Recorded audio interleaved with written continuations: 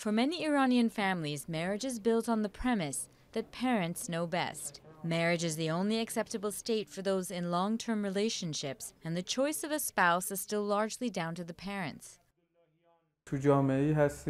We live in a society where marriage gives you legitimacy. When I got married, I saw that people's attitudes towards me changed.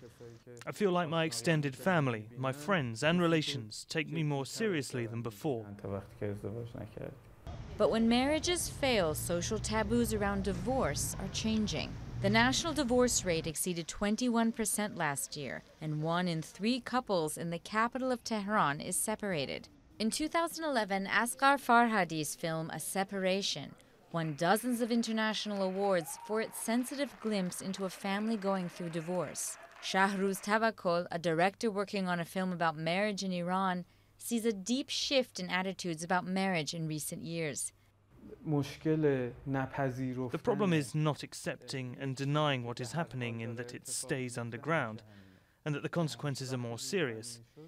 You might realize what is happening too late. In recent years, the average age for a first time marriage shifted from 24 to 25 years for men and went from 18 to 22 years old for women. Iranian officials say that changes in the status of women is a factor. Others blame the fragile economy and youth unemployment for making marriage unaffordable. Some religious leaders are promoting the use of temporary marriages, an exception in the Shia Muslim doctrine that allows a man and a woman to sign a marriage contract for a few hours or several years.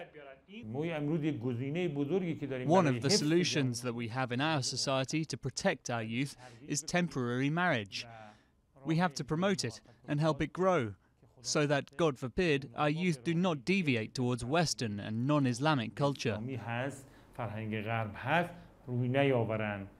It's a solution that goes some way to meeting not only evolving needs of modern Iranian couples, but also traditional expectations of religion and parental approval.